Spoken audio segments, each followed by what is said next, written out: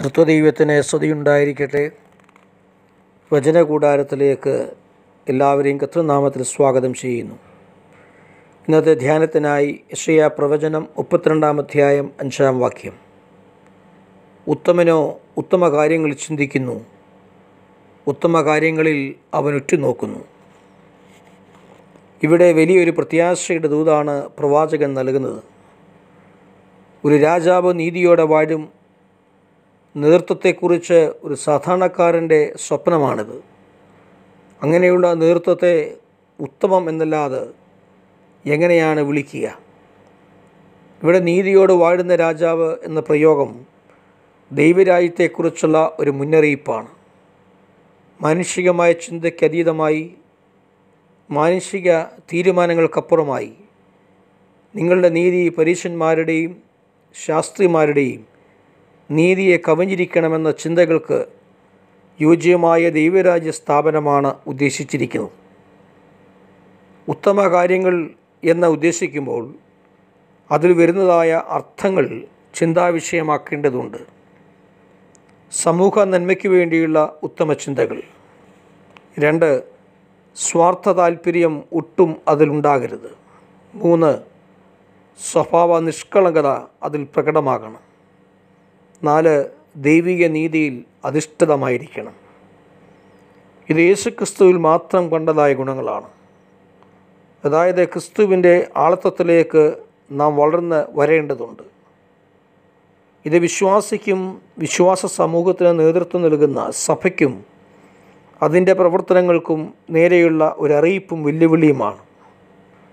വ്യക്തികൾ രൂപാന്തരം പ്രാപിച്ചാലേ ദൈവിക രീതിയിൽ ചിന്തിക്കാനാവുകയുള്ളൂ. വെറും അഭ്യസ്തർ എന്ന പ്രയോഗം മാത്രം നേതൃത്വ ഗുണമായി എടുക്കുന്നതാണ് സകല പരാജയങ്ങൾക്കും കാരണം. ഉത്തമമായി ചിന്തിക്കണമെങ്കിൽ ഉത്തമമായതിൽ അഭ്യസ്തരായിരിക്കണം. ദൈവം തന്ന നന്മകളെ നന്ദിയോടെ സ്വീകരിച്ച് സമൂഹത്തിന് പ്രയോജനകരമായ വിധത്തിൽ വിനിയോഗിക്കാൻ എന്ന് നാം തയ്യാറാകുന്നുവോ അന്നു മാത്രമേ ഉത്തമമായത് സാധ്യമാകുകയുള്ളൂ. അതായത് വ്യക്തികൾ രൂപാന്തരപ്പെടണം അങ്ങനെ സമൂഹം രൂപാന്തരപ്പെടണം. അതുപോലെ നേതൃത്വത്തെ തിരഞ്ഞെടുക്കുമ്പോൾ അങ്ങനെ രൂപാന്തരം പ്രാപിച്ചവർ മാത്രം തിരഞ്ഞെടുക്കപ്പെടണം. ആ നല്ല ദിനങ്ങൾക്കായി നാം ഒന്നാകെ ദൈവസേനയിൽ കടന്നു ചെല്ലണം. മാത്രമല്ല സ്വഭാവ ശ്രേഷ്ഠത എന്ന നല്ല ഫലങ്ങൾ പുറപ്പെടുവിക്കേണ്ടതിന് നാം ബോധപൂർവം ശ്രമിക്കണം. ഉപേക്ഷിക്കാൻ കഴിയാത്ത വിധത്തിലുള്ള ദുർവാശികൾ ഒന്നും ഭക്തനിൽ അവശേഷിച്ചുകൂടാ? അതുമാത്രമല്ല നീതികേടിൽ നിന്നൊഴിയുകയും അതിനെതിരായി ദൈവിക രീതിയിൽ പ്രതികരിക്കാൻ തയ്യാറാവുകയും വേണം.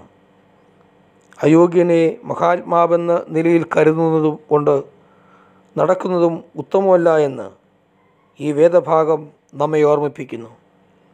യേശുക്രിസ്തു മാത്രം മഹാൻ ദൈവം മാത്രം ഉത്തമനെന്ന അറിവിൽ ക്രിസ്തുവെന്ന തലയോളം നാൻ വളരാനായിട്ട് സാധിക്കണം.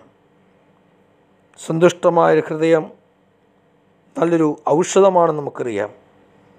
തകർന്ന മനസ്സോ അസ്വസ്ഥതകളെ ഉണ്ടാക്കുന്നു.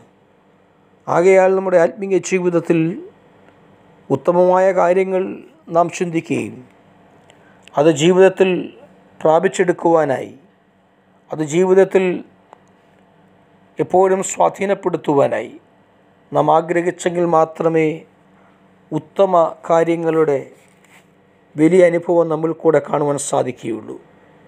ഈ ഉത്തമ ദൃഷ്ടാന്തങ്ങൾ നമുക്ക് വേണ്ടി മാത്രമല്ല സമൂഹത്തെ നന്മയ്ക്ക് വേണ്ടി.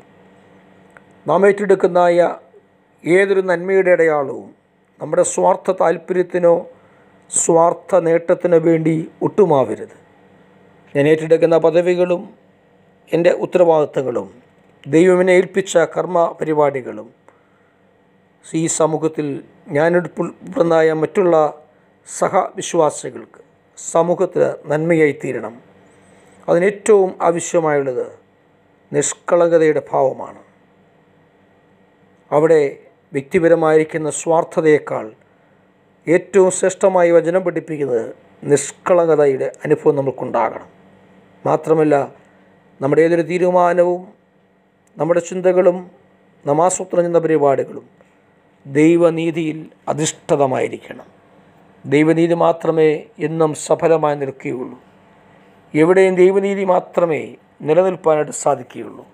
ആകയാൽ ഇന്നത്തെ വേദവചനത്തിൽ കൂടെ പ്രവാചകൻ നമ്മോട് ആഹ്വാനം ചെയ്ത ഈ ചിന്താധാരകൾ നമ്മുടെ ആത്മീയ ജീവിതത്തിന് ഏറ്റവും ഉത്തേജനവും നമ്മെ കർമ്മനിരതരാക്കുവാനും ഇടയാകട്ടെ ദൈവം നമ്മെ അനുഗ്രഹിക്കുമാറാകട്ടെ.